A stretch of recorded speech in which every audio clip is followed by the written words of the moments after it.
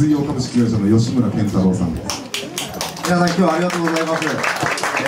実はですねこういう酒蔵の中でですねお酒を飲みながら、えー、ライブをするということをですねまあ、できればこういった形でやりたいともうずっと思っておりましたのでこれをですね実現させていただいてです。ね池田さんとあと皆様に感謝いたします。今日はありがとうございます。あのーはい、まずあの酒米のお話なんですけど私が実は3年ぐらい前に、えー、こっちに戻ってきてでそれまで東京にいたんですけれどもその頃ですねあの熊本にはいい工房熊本9号工房でご存知の工房とですねあとご存知の通り水があその作りをする水が素晴らしいんですけれどもよく熊本のお酒いいお酒を作る時ですね熊本の工房熊本の水で熊本の米っていうのでよくまあ、どこでも地産地消でやるんですけれどもその時米がですね、あのー、米のところだけちょっと実は引っかかっててですね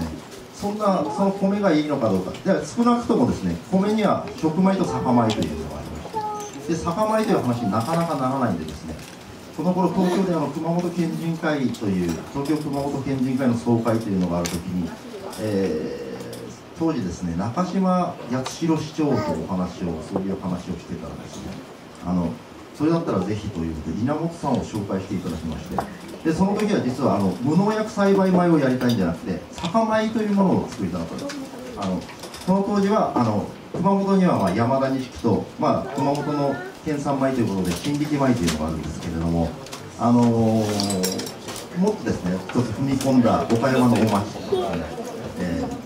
山形県ももっとこの頑張ってますのでそういったの酒米の作りという話を一度したら稲本さんにはですね今度はもう無農薬米のことで非常に。ここで一旦トークショーの方を終わらせていただきたいと思います稲本さん吉村さんあと、えー、それしま教授ありがとうございましたそしたら、えー、2時半まで、えー、ご看板ということで、えー、山鳥さんのライブまで、えー、お酒を楽しんでください。よろしくお願いしま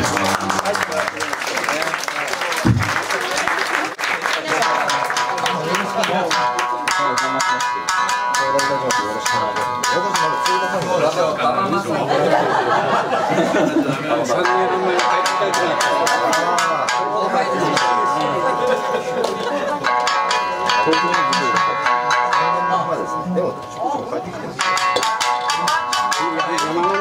あそうです。あ、一緒です。一緒です。クリア君のあれよね。クリア君のやつにいいねいいねが入ってるもんね。ああ、まあまあまあちょっといろんなことがさせていただいてる。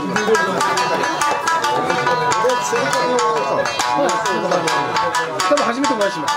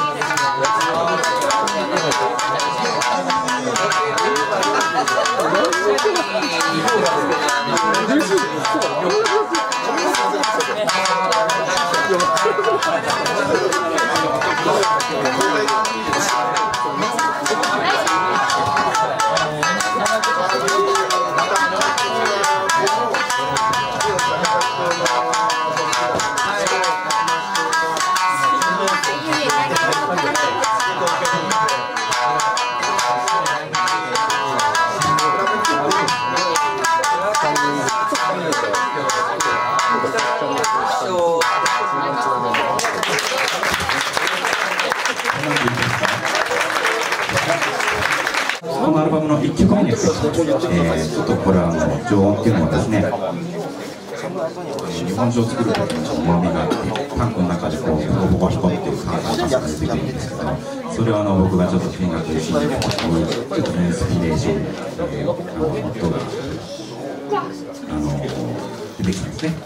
ちょっとかっこいいことなんですけど、えー、その曲をぜひ感じながらあこういうやっ感じていただきながら聞くので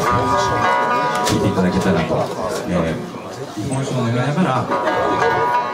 いていただいた方がこれはこれは絶対あの進めます、はい、なぜあのこのアルバムを作ったかというと僕があの日本酒を飲みながら聴きたい音楽を作りたいなと思って作ったのであんましつこくねやってくれないからね。じゃあ主張多分なんかあ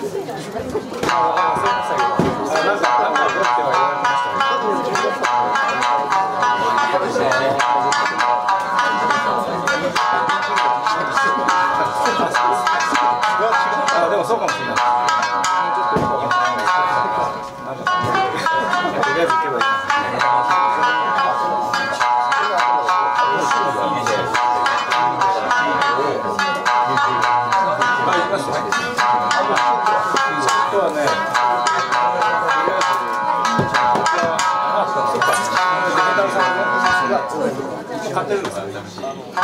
神田さんのところにある